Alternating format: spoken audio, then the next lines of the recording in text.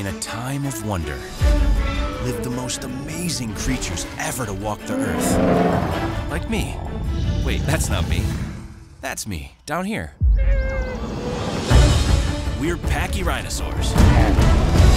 We may not be as scary as a gorgosaur, but we're way tougher. My mom watches over us, but my dad, he's in charge of the whole herd.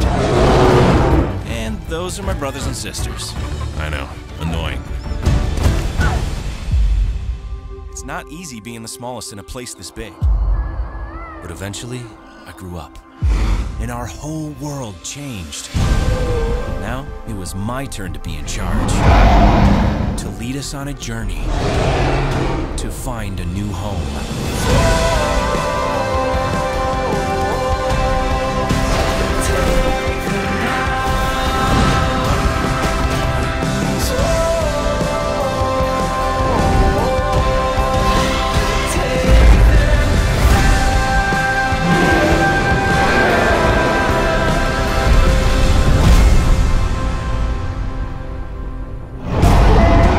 Greatest adventure is about to begin.